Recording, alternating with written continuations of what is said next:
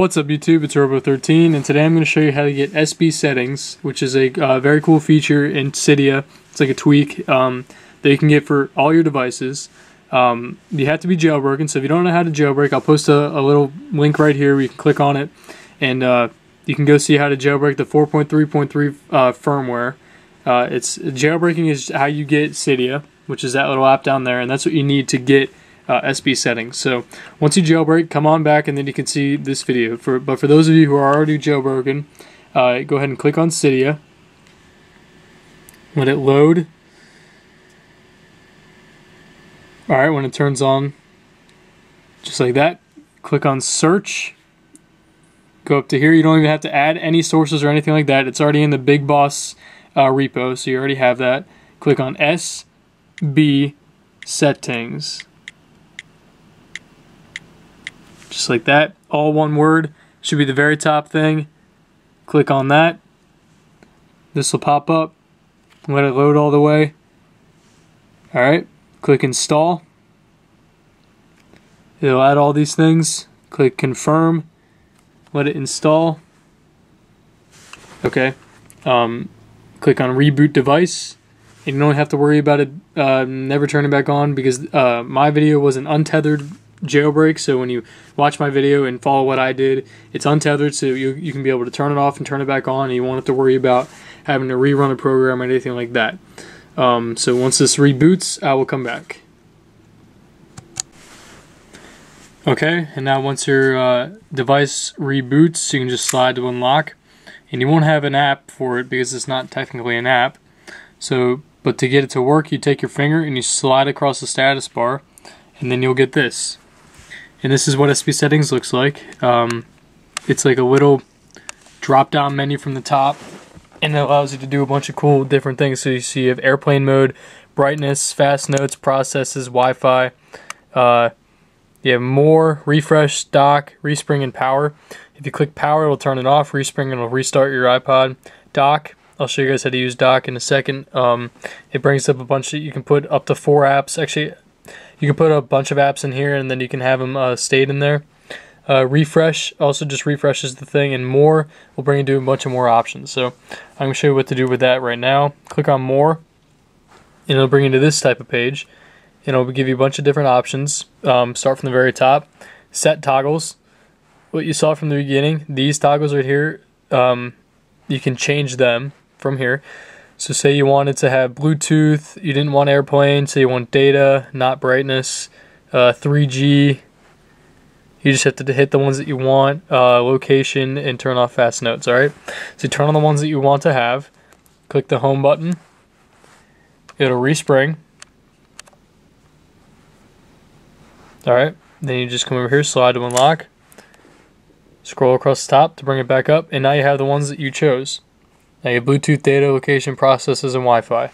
Um, they're really cool. You just click them and they turn on. Click them again, they turn off. So they're really quick. Like say if you're about to leave your house with your iPod and you don't want Wi-Fi on to drain your battery, slide across, hit Wi-Fi, click X, and you're good. It turns it off right away. You don't have to go through settings or anything like that. It's just really quick, really nice, and really simple. All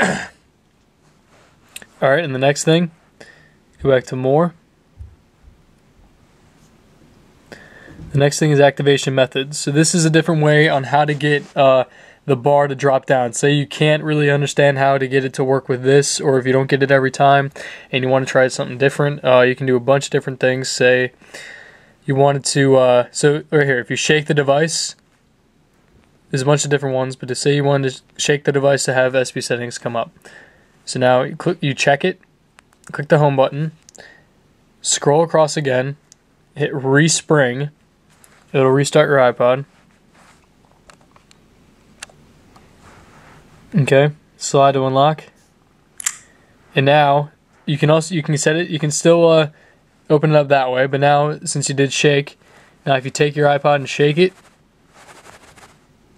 it'll pop up like that. See? Shake it again. It'll come down. So that's a very cool way to do it. Uh, there's a bunch of different activation methods that you can do. Uh, you can play with it a little bit, figure out which ones you like the best. Uh, the next one is SB settings themes. So there's a bunch of different ones. There's default HUD, uh, this default HUD, Sirius uh, HD, Tech Shadows, and Tetanus Matte. There's a bunch of different ones you can choose from anyone you want. I'll just show you an example right now. I click it, make sure it's checked, come back down, hit the home button. It'll uh, close out, it'll respring.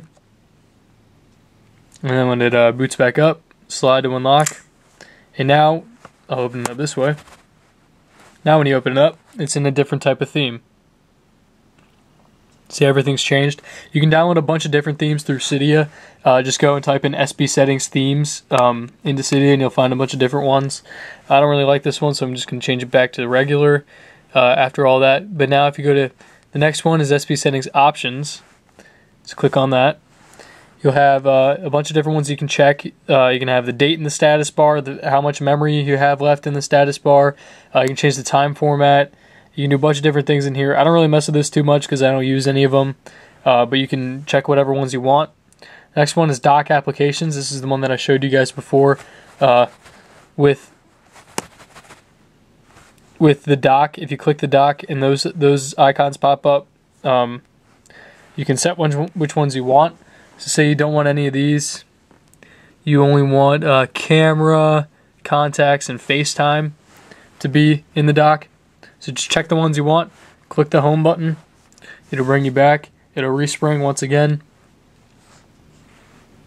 It'll say slide to unlock, slide that, activate it, click on dock, and now you'll have the three apps that you wanted to have in there. FaceTime, camera, and contacts, alright? So you can you can play around with that more. Um, and you can show whatever apps you want to show on your home screen. Also, when you put it in the dock, it gets rid of it on your home screen. See, so the calendar or the uh, the contacts, FaceTime, and camera are all gone. So they're only in the dock. So it, it kind of hides them from uh, other people. So slide one, slide that again. Open up more. Uh, the next one is hide icons. This one is pretty cool. It actually hides the icons itself. so say you wanted to hide the uh, calculator. Click off say I want to have the App Store, the calculator, and the calendar. Click off on all of them, and then click the home button. When off means that they get hidden. So now, see that you can see it uh, just revert, and now they're all disappeared, and now they're gone. So you can't even see them, you can't even use them. But if you go into here and say you want to use it, type in App Store, you can use it right there. So if you want to hide the apps from people, you can click on that, and then nobody will will ever be able to see it, um, which is another cool feature. So go back into More Next one is uh, mobile substrate add-ons. There's not much you can do with that unless you really know what you're doing with it. It even tells you uh, not to mess with it in that red warning, warning, warning. So I would just stay away from that if I were you. Uh, there's no point. System options is pretty cool. So these are all very cool. Um, you, so if you have numeric battery, you can see that the uh, percentage up there turns off and turns on. I like having it on because I know exactly how much is left. Uh, numeric Wi-Fi is pretty cool. If you have that on, it'll show the Wi-Fi as a number instead of just bars. Uh, uh, GSM and kill switch you don't really have to worry about. And delete carrier name is pretty cool. As you can tell right now, I don't have a iPod symbol up there because it's off. Hit the home button. It'll respring. And now it's back. See? iPod. Slide to unlock. And uh, there's a bunch of cool things you can do with it, obviously. So you can just mess around with it, a bunch of the settings. I can't hit this more button. There we go. You can mess with all the settings and figure out what you like to use it with. Um, but one of the coolest things that comes with uh, SB settings is this application called Activator. Um, so to get to it, you click on settings, scroll down Activator right there. Click on Activator. And now this is how you can activate certain applications or certain things within the iPod or the iPhone or the iPad by doing different things. So say I wanted to, I'll go to anywhere. So these these are what they mean. It means when you're at the home screen, this will happen. When you're in an application, this will happen. When you're at the lock screen, this will happen. All right, but I want to click on anywhere. So anywhere I am, if I, let's say if I, uh, double tap the status bar, I want I want iTunes to open up, okay? So it, it kind of goes through it. It says anywhere I am, if I double tap the status bar, I want iTunes to open up. So now you hit the home button.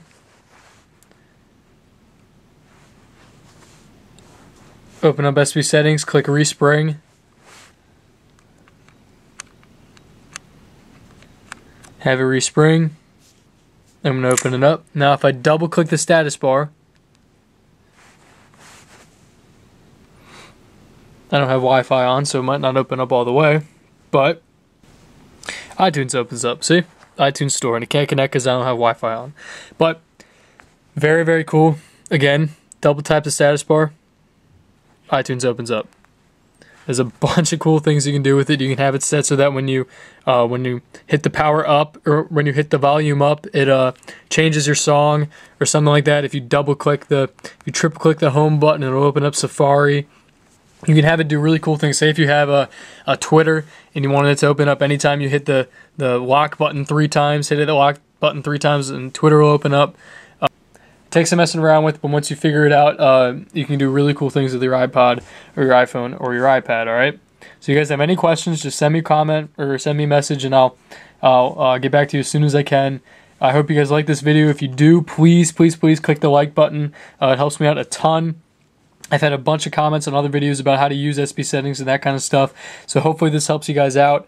Um, if you are subscribed to me, thank you very much. You guys have been helping me so much. If you are not subscribed to me, then uh, uh, click on the subscribe button up top or go to my channel, click on subscribe button, and so you can get the new videos that I post uh, right away. Um, it helps me out a ton. And make sure you guys comment on the video below and let me know what you think. Uh, just stay tuned for new videos that will be coming out very soon. Uh, thank you guys for supporting me so much, and I'll see you guys next time, alright? Thanks, guys.